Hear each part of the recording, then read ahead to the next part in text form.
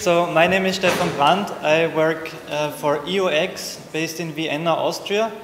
Uh, a very warm welcome to my presentation GeoInfographics created dynamically from PostGIS using the function ST_AsSVG.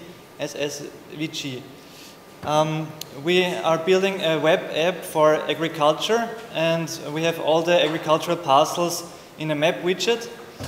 Um, and so the authority staff from a member state of the European Union also collects in situ data, and we wanted to visualize this data uh, um, to um, the agricultural parcels. But we thought it would be overwhelming to put all the information in the web map widget itself because it can be information that only covers part of the agricultural parcel. So uh, we wanted to display this information in a tabular format and we found the function ST_AsSVG of PostGIS to um, send the geometries to the front end um, as SVG, uh, in SVG format. And the advantage is that we don't need any additional mapping library inside the browser because SVG is natively supported by the browser. There's no extra JavaScript involved.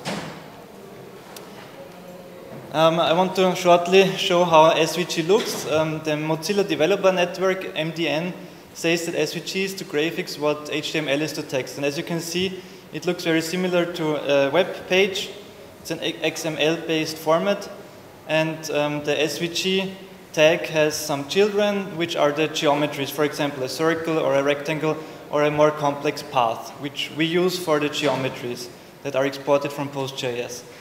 And one particularity is the viewbox attribute, which defines which part of the uh, SVG is actually visible. So it defines where to zoom to in the coordinate system. And I will now show um, the iterative process it took to get it correct. So um, this is something that might be, or that will be familiar to you. And um, uh, on the left side, there is the whole world and the iterative approach to actually get it on the same canvas. And on the right side, uh, I zoomed to Europe. And when you look on the top, there is the min x, which is minus 10, which, okay, we can find out easily because that's the border of, of Ireland. But then the min y is minus 70. You would assume that the lower left corner is 35 because that's the lower border of, of Europe. But um, SVG has its y-axis flipped, so you have to go to the upper corner and take the, the, the negative so minus 70. I put all of this together uh, in a um, GitHub repository to generalize the idea so that you can go to GitHub, um, clone the repository and fire up a, a web app which is based on um, the, on a PostGIS database and a Python web app with SQLModel and a FastAPI interface and the Jinja template. It's very basic and um, I wanted to generalize it so that you can uh, go there, uh, have a look at it, and maybe use it for, for your own project. And I hope it is helpful to you. Thank you for your interest.